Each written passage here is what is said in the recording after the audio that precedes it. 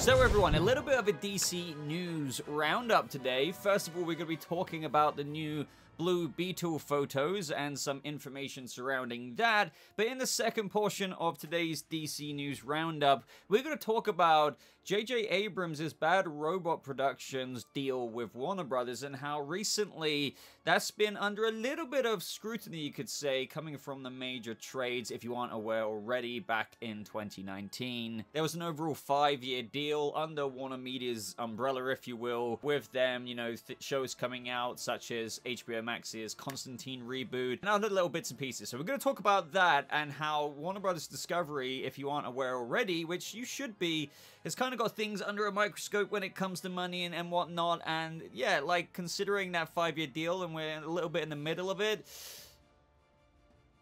what's going on like uh, with certain things so we're going to dig into that but first of all blue beetle looks awesome. I, I, trust by now that all of you have already seen the photos out there, but just in case, I'm going to leave them linked down in the description. Uh, but Xolo Maridueña looks just incredible. There's there's photos of him in the suit, also with the helmet off. And if you actually go to the co-creator of Blue Beetle's Twitter feed, Cully Hamner, he shares this and says something interesting about it. So what he says is, what's even crazier to me about these set pictures of Xolo Maridueña in costume as Blue Beetle is that the guy behind him in the Prime Tech shirt is my old roommate and was my model for the character of Paco in the comic. He's a crew member on the film, no lie. So I thought that was a cool little tidbit behind the scenes. As you can see from the Twitter feed that I've captured here, the co-creator is very, very happy, and it seems that fans are as well. Like, I include myself there. I am very happy. I'm insanely happy that they've gone practical. You know, it's not kind of that situation where they're just going to CGI the whole suit with little CGI references all over the actor. Here, it's very practical, but the, the thing to remember is, even though this looks insanely good, for just, you know, a practical suit, which is very interesting when you're talking about the character of Blue Beetle, given that the extreme powers he has, the flight, this, that, and the other, it obviously will be touched up with CG at some point. Maybe that's the eye. Some fans are speculating about perhaps, you know, showing the articulation uh, with the mouth. And obviously, the Blue Scarab itself giving him all kinds of abilities. But you may have already seen what I've been featuring on screen, and that is the official concept art for Blue Beetle. So with a bit of a comparison there, you can see just why so many people are happy. And, you know, just in of itself, comic book costumes quite often are awesome, but sometimes they do, you know, innovate like they have with certain suits, adding on cool aspects here and there. But sometimes there's a bit of deviation going and straying too far. Sometimes fans don't get happy uh, as a result of that. So when you see this, you know, mixed in with Datrinti's concept art, if you aren't familiar already, uh, he is actually announced that he has been working on the film on his Twitter feed here. He's saying that ever since DC Fandom, I wanted to share with you guys my involvement with the movie. It's been an absolute pleasure to work among outstanding artists in the business. I can't thank 9B Collective enough for this opportunity. And you can see that it's a straight up, you know, like that's more or less what the suit looks like, but gives you a little bit of an idea of what it can look like with the effects you know, when the movie's gone through some post-production, some CGI's been applied to the suit, a bit of light here and there, the wings in action. It's more or less a spitting image of what they've got of that practical suit on set and vice versa. Now in Datrinti's concept art as well, you can see Kord Industries in the background, and we know that Susan Sarandon has joined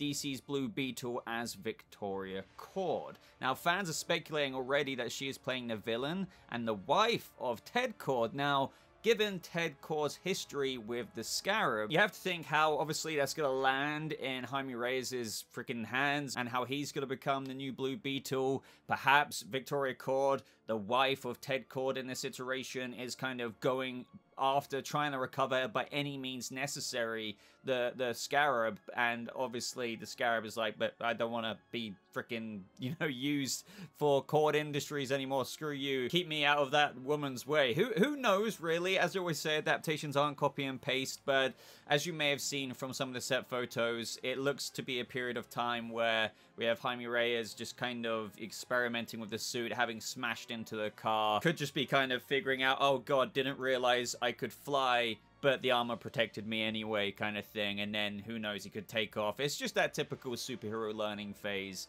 uh, which I feel like is going to be a really interesting part to the movie. This movie is just looking really cool already. Obviously, I don't want to get too far ahead of myself, but the fact that they did have the confidence, we can't forget as well, that this was meant to be an HBO Max exclusive film. And what I mean by the confidence there is that it's moved to an actual theatrical release. Now, Batgirl is still a HBO Max exclusive film. But I am wondering, you know, are they going to move that into theatrical release as well? Especially with Michael Keaton there. But maybe, you know, with wanting to get more people over to HBO Max and all things like that, especially with David Zaslav just kind of really keeping a microscope on certain things well, everything that they've acquired, uh, they might reserve that one for the streaming service. So, kind of a double suit day, if you will. If you don't know what I mean by that, is yesterday I covered the Flash movie suit because we got our best look at it yet, like right up close. Also, in the back half of that video, just in case you're interested, I did a bit of a discussion, you know, questions from you guys. You know, this movie is looking like a disaster. Will it be? You know, is the Reverse Flash going to be in it? Things like that. That was fun. And then today, we get another suit picture uh, arguably one that is a little bit more popular with the fans, although the Flash suit does indeed have its fans. Even I like quite a few pieces of it, even though, well yeah, watch the video if you want my full thoughts on that. But let's move on to the J.J. Abrams news. Now, if you're not new here to the channel, or if you are new, I may as well, I guess, say that we do cover some of the shows being helmed under Bad Robot Productions, J.J. Abrams' grand kind of five-year deal with Warner Media, and that is HBO Max's Constantine, for example, or Madame X. Like, they've got things in development. But that's the issue in a way in development. So, I've pulled a few quotes from major trades here because the big kind of topic here is that we're more or less in the middle-ish of this five-year deal, and there hasn't really been any major, major benefits of note so far out of all of the series thus far. Everything is still more or less very early on the tracks and just kind of labeled a project in development, which it just kind of makes you think, yeah. Now, I have done, just in case those who don't know about it, an update video on the HBO Max Constantine series, everything that we know so far, with some updates that I think will interest a lot of you. But this is what the Hollywood Reporter initially had to say. So, Bad Robot's rich overall deal with Warner Brothers Discovery is currently not in jeopardy, though the lack of output has created a larger discussion about what the newly merged company expects to stem from the pact. Zaslav, and this is where things kind of get interesting, like the sources say, was frustrated with the lack of delivery from the deal that was signed back in September 2019 after Abrams and Bad Robot met with suitors, including Apple, as they shopped for a rich new pact. Now, Abrams has multiple projects in the works under a company-wide deal, with Demimonde joining an adult animated Batman series that reunites Abrams with his Felicity collaborator and friend Matt Reeves, who is behind the Batman feature film. That's interesting. And, you know, considering and assuming we are getting a DC fandom this year, I really do hope that, and, and this is my hope, and I say hope because the whole part of this story is, or as sources say, allegedly frustrated with the lack of delivery from that deal that was signed back in 2019. It's like, okay, so what's going on? Why are we only just kind of looking for actors now for the HBO Max Constantine series? There's a little tidbit into my Constantine update video. So I say hope with the Batman Caped Crusader animated series because with regards to DC fandom because I, I want to see something with it. But will we have something substantial or will it kind of just be maybe a picture or concept art or two?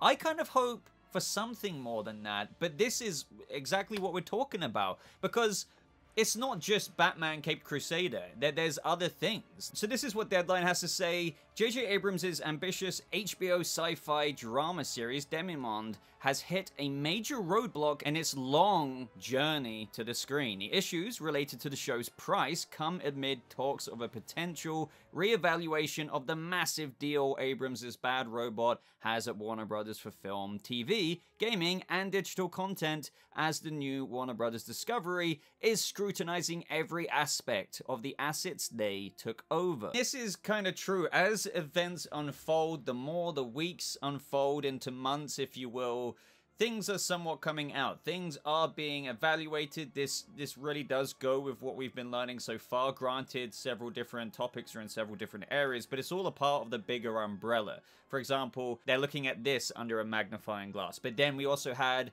something like Wonder Twins cancelled, and that was reportedly, according to the Hollywood Reporter, one source said that the budget was too high for Wonder Twins for what is considered an HBO Max movie. Twins was looking at a $75 million budget, but according to sources, Zaslav wants to keep HBO Max original movies at 35 million and under. So my larger point there is just like things like that and, and all other bits and pieces are being like, okay, so what is worth it? You know, this goes back to the article and the video I made like a, a little while back now, I, I, guess around a month or so, I can't really remember. The overhaul of DC Entertainment, they are getting their shite in order seeing what they can cut, seeing what they can optimize, and obviously now when you look at the hey, didn't we have a deal with uh, Bad Robot Productions? You know, J.J. Abrams. Wait, we're in the middle of it now, and we're not really too far ahead. Wait, they've got a series, uh, Demimonde, uh, of which is how much?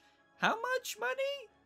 Okay, do we really want to do that? Deadline go on to say that brought by the network four years ago with a straight-to-series order, Demimonde is still in early pre-production. Hmm, you see what I mean? It's still quite early on despite that, but major budget issues are threatening to derail it. According to sources, the studios on the project, Warner Brothers Television and HBO, have been trying to rein in costs. But Bad Robot has kept firm on their proposed budget, said to be in the mid $200 million range, and would not agree to a reduction below that. Again, this is all on top of other things in development that have still, you know, really to bear fruit in a substantial way right now. HBO Max's DC comic based Justice League Dark franchise, as reported here in the articles, which features shows including Constantine and Madame X. This is where the Hollywood Reporter interestingly says, and this is where, you know, the DC side appeals to a lot of us with what's going on and the opinions kind of as sources report at Warner Brothers.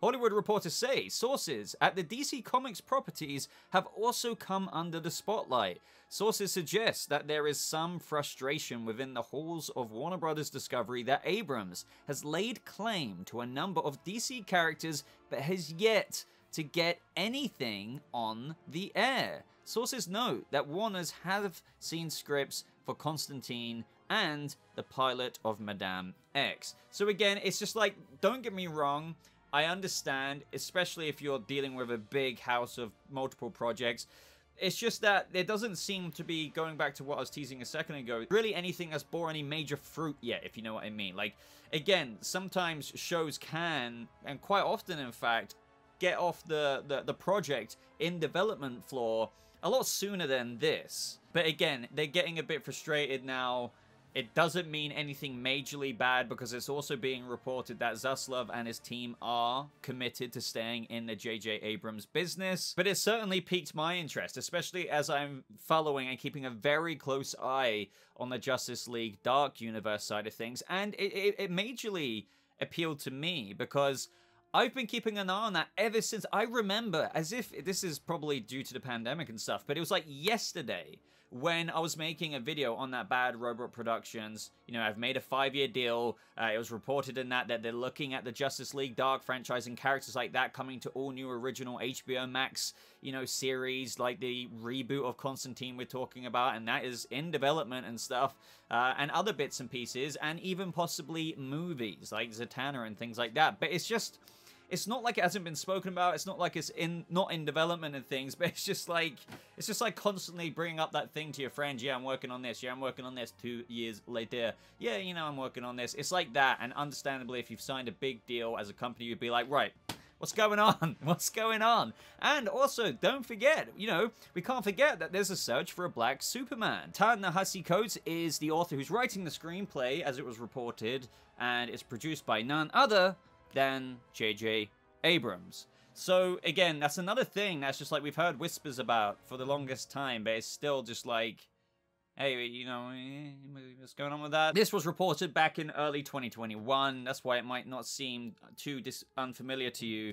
Uh, but ultimately, we're just gonna have to wait and see. Obviously, things are making a move. If you watch my Constantine video, things are underway with that. It is being written. It's got the writer. Uh, they're looking for actors. And as a big fan of the Justice League Dark characters, you know, bring back Swamp Thing, please. I'm definitely intrigued to see things like this come to our screen. And that's the thing. Will we see some things? And with, with Warner Media Discovery, Warner Brothers Discovery, sorry, putting a magnifying glass onto things now and, and trying to scratch some money off the grand overall plan that they have in certain areas, you know, with like, for example, the $75 million budget going down to actually, we kind of want HBO Max films to be around 35 if, if you can do that.